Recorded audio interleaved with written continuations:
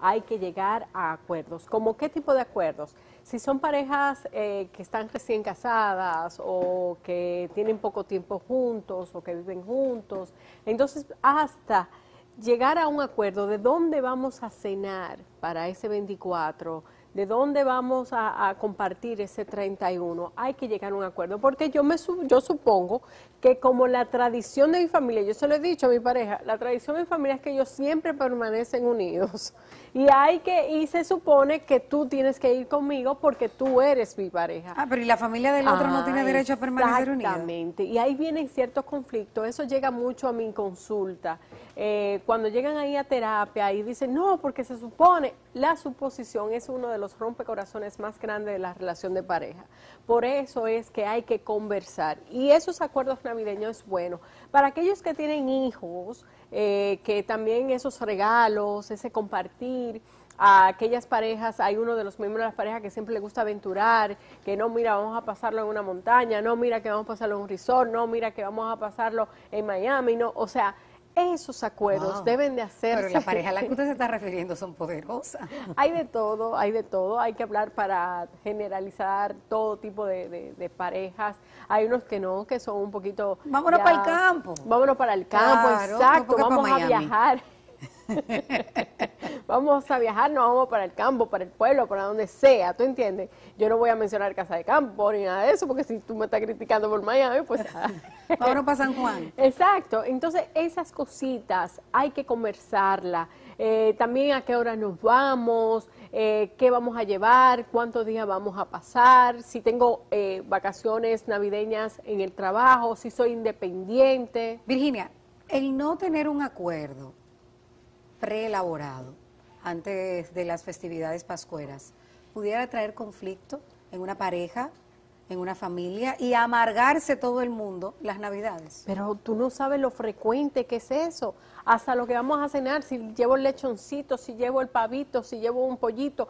Claro que sí. Entonces, ahora que apenas inicia este mes, es bueno sentarnos a conversar también a medir el presupuesto que tenemos para los gastos, porque si vamos para San Juan, o para Ocoa, o para La Vega, entonces también hay que sentarse. Si tenemos un vehículo, el combustible, no se supone que, que él o ella que tiene que ponerlo, qué vamos a llevar para esa casa, cuántos vamos a ir hacia allá, eh, si estamos de acuerdo los dos con acudir hacia allá también. Entonces, esos conflictos pasan tan frecuente porque lo dejamos todo para cuando llegue el momento y se supone ahí vienen eh, las discusiones, ahí vienen las diferencias, ahí viene el malestar, ahí viene que te boicoteo esta felicidad. Entonces, porque no hay una conversación previa, porque yo supongo que esto es lo que debería de hacer o esto es lo que siempre hacemos. Entonces, hasta lo que siempre hacemos, a veces hay un punto que cambia. A lo mejor la abuelita ya no quiere hacer cena en su casa, que la abuelita quiere trasladarse para la capital.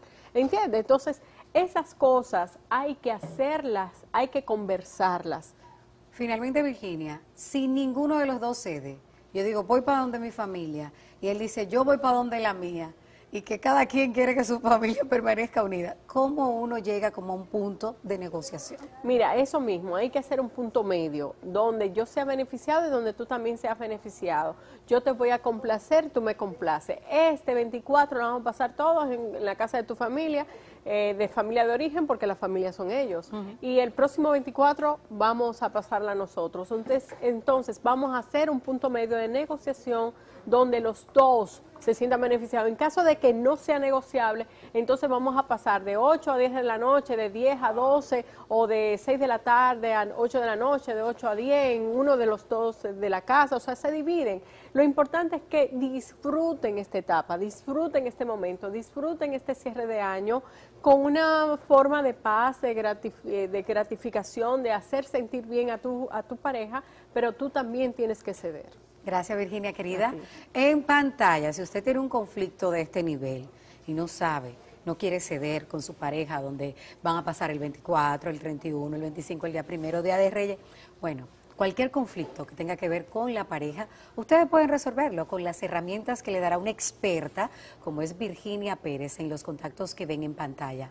A través de esas vías pueden apartar una cita y antes de que finalice el año resolver ese problema y empezarlo en grande, con una pareja renovada. Ahí están los contactos en pantalla para poder consultarse con Virginia Pérez. Virginia, querida, gracias. A ti. Nos vemos en una semana. Una semanita. Dios mediante. Y ustedes y nosotros en segundos. Vamos a una pausa y ya regresamos con el resto del contenido de este lunes.